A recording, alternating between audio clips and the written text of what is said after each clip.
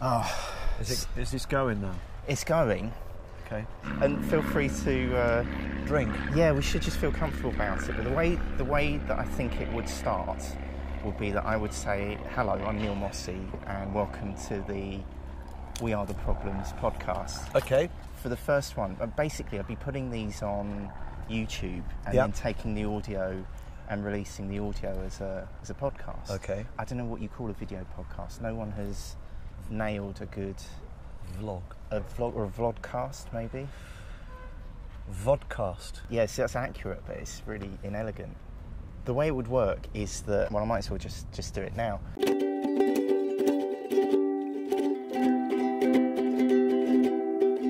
I've been writing comedy.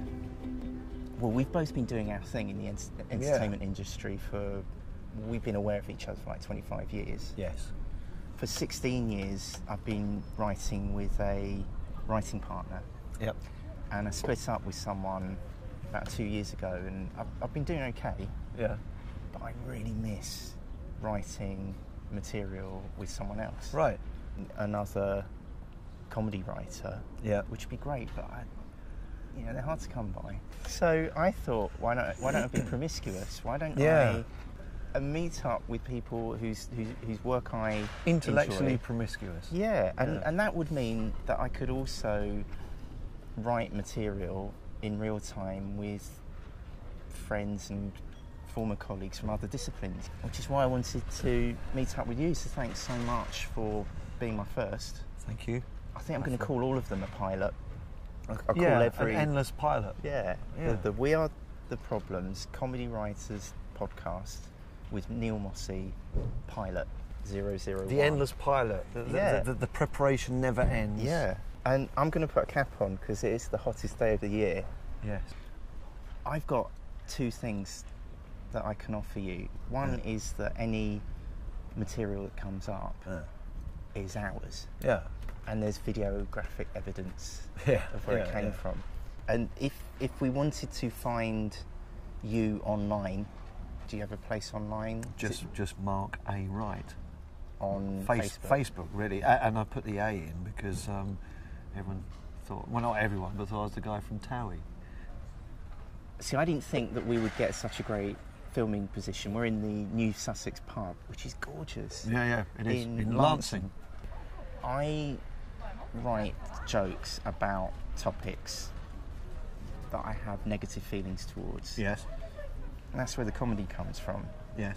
And if you go deep enough into the subject, you can see the point where it goes beyond pointing my finger at it. You realise that you are the problem Right. with the problem. And I've got like this permafrost of about 20 topics that Right. I haven't I haven't tackled. Okay. I've got indecisiveness, black tie, that might be a good I, one. I wear those regularly, yeah. Plastics, uh, my email inbox, YouTube, energy companies, theatre, personal finances, electric cars, privatised trains. I haven't had a single near-death experience. It'd be ironic if I died just after this, but Would. So that wouldn't. But that wouldn't. Still wouldn't be near-death experience. That'd just be a death experience. shuffle the pack. Right, these are topics that I haven't even been able to look at. Right. Okay. Okay, personal finances. I've got this word association for uh, all, all aspects of Right. personal finance. Bank, banks are greedy. Banks are a hassle. We always attach emotion to banks, like like it's like it's like it's a personal insult to us, or they've personally got it in for us. And we need to learn to move away from that and learn to move away from feeling aggrieved by the actions of a bank. Right, because they're just doing what they do. They're doing what they do, um, and, but, but we know this is what they do. That's the trick with banks, is to not take it personally, which is difficult to do when you've been indoctrinated with pigs and money boxes and stuff from when you were a kid. Can I ask you about, because we can cut this out, you, um, I don't know, how would you describe yourself in terms of your job? Um, I- even though I- I've known you for like 25 No, no, years. I, I, I, I, would- I would consider question. myself a uh, professional entertainer, but somebody once described me as party Elvis. because if you listen to an Elvis or watch an Elvis concert, listen to an Elvis concert, he didn't do many of his biggest hits. So quite often he, would, he wouldn't do Suspicious Minds. He never did Viva Las Vegas. He never did those songs.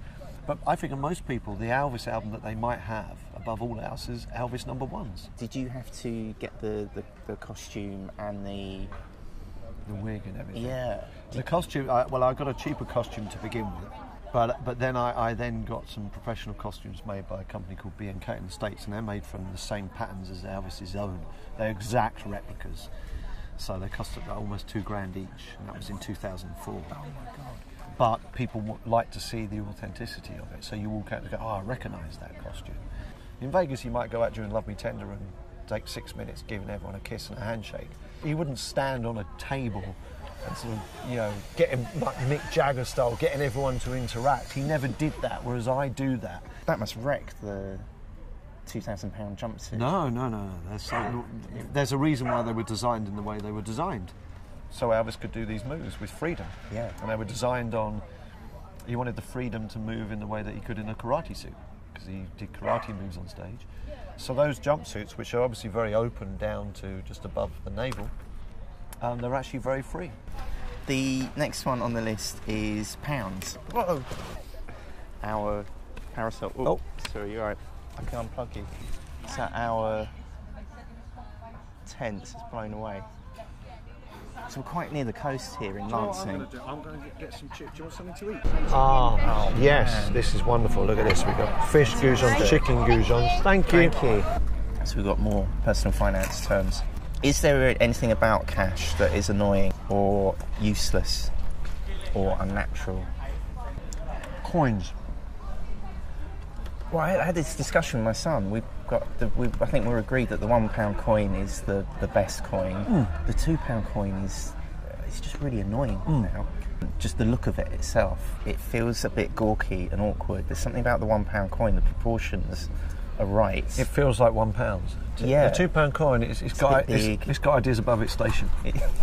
Is it twice as big? I don't think it is. No. And that's another reason why it's a bit rubbish. It, you know, it wants to be a fiver.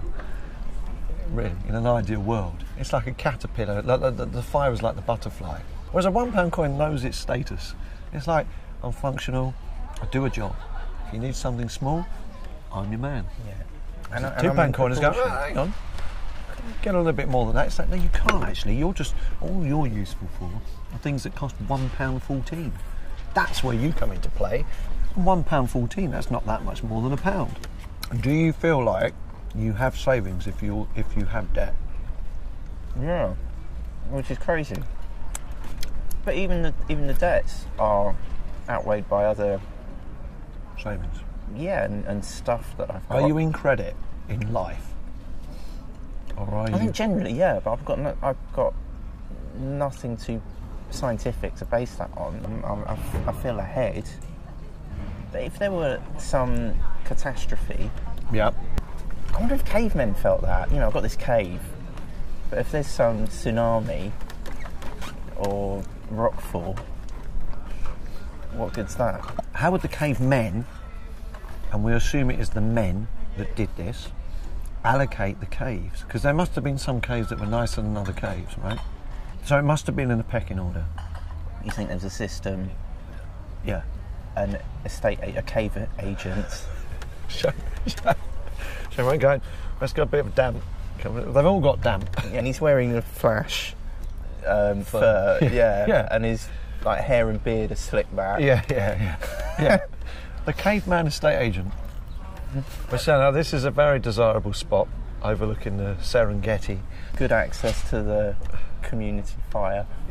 yeah, there are very few cheetahs around this area because we're, we're on high ground here, and it's quite a deep cave, so there's a bit of privacy. Uh, the other ones, I mean, you're just on show. Sub cave for the little ones. Yeah, I think they did. but that would have been allocated through brute force and strength. So, so the caveman that would have had that, Yeah. he would have been the caveman that, that were, was able to kill the bison or the buffalo, Yeah. depending on where you are. And so providing food, so therefore there would have been definite. So, so it came from brute force. Right? All status would have come from Lord of the Flies. So I think it's only relatively recently that society has stopped being Lord of the Flies. So money, money is the invention of wimps to gain control over people that might punch you in the mouth. Yeah. And then, because what happens when people get lots of money? Well, they move far away from everyone else, round either a wall around their house or a detached house or a gated community. To prevent force taking it To- away from yeah, to, yes, yes, to prevent them from being punched in the mouth by someone tougher, because they know if it came to that, they would lose. So they have to put value on that, and but so they apply themselves to move into an alternate system. So on our banknotes, it, it should be I promise to pay the bearer one punch in the mouth. If it was done like that, we we would be sowing debt. Mark Carney just going around walloping. But we would be sowing debt because we're wimps, right? People, wimps, created money to to um, control to control yeah. the world, and so they didn't get a punch in the mouth and to keep tough people at bay. Look, I've got some more words here. It might be easier. Should we, should we just pick one more? You pick one. Cards. Cards. Okay. Yeah, we've not talked about cards. Yep. It felt really special when I got my first money card. Yeah, there was like a choice of plastic things that you could get. We had a camp with um, Halifax. It was a building society, so there were no gimmicks like that. And I can remember as a kid looking at Nat West. And oh, I want to like a comedy pig. I'm not sure a branding agency would align a bank with With pigs pig. these days. right. I'm not sure that. No, that wouldn't be the, uh, the obvious icon. Oh yeah, but that was a time when it was all about getting rich. Certainly the 80s was about get rich. I've been Get proud rich. in being a pig. Yeah, look at you, you're fat cat. You've made it. You're a pig, big fat pig, a well-fed fat pig. Well done. Now you get your card out and you just go, I can't do that. Yeah. Would you? Do you do that? I do it all the time.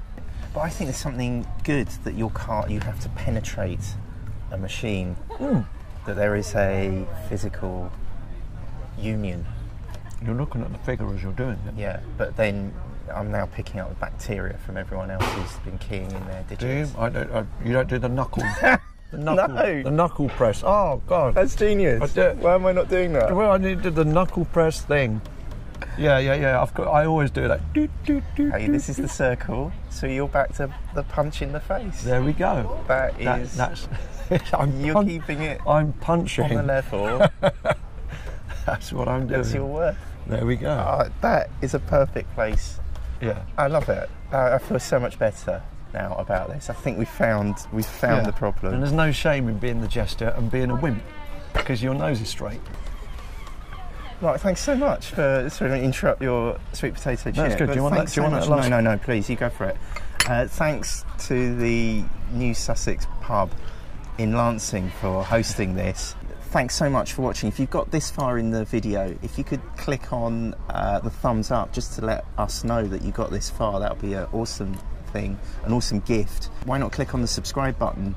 Uh, YouTube unleashes all kinds of gifts. Yeah. Uh, uh, when you hit a thousand subscribers. See, we're undoing everything we talked about now by you begging for these gifts.